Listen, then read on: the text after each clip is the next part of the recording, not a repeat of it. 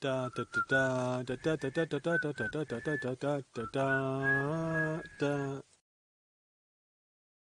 So what's the next? Uh, what's the next one? Well, the next one for Pride Month for my stream. That's right, Frozen. Yeah, Frozen. I talk about Frozen. Uh, one and two. Frozen 1 and 2. So I guess that would be Frozen and Frozens. Because it's two Frozens. Uh, actually, no, you can't do that. That it's an adjective. Frozen is an adjective, so you can't do a plural adjective. No, so never mind. Never forget what I said. Frozen one and Frozen two. So why am I? So why am I introducing this? Well, because um, this movie or these both these movies are widely accepted as being uh, pride-friendly movies, because well, think about it. You have two sisters.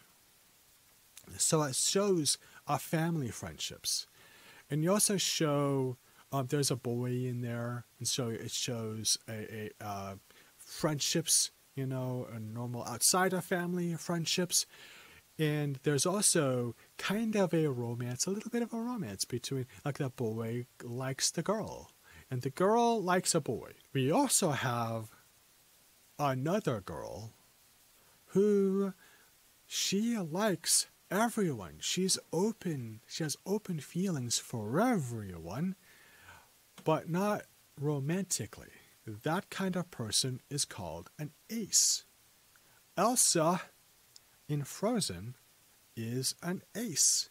She doesn't have romantic feelings, passionate feelings for someone.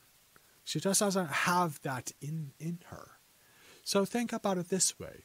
Um, most of us have physical attraction, you know, um, for another person. And if we're talking about pride, it's going to be for a person of the same gender, yes?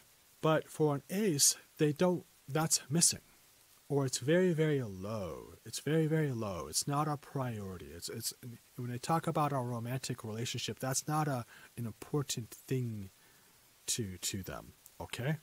So that's that's an ace. And this is actually pretty great because this is the first time we get to see a character uh, shown in a positive way have that. And this is this is a good role model for other aces out there in the world because it's hard to have a relationship with someone if you're an ace because most people need to have the two parts the heart and the physical part of our relationship. They, they need that.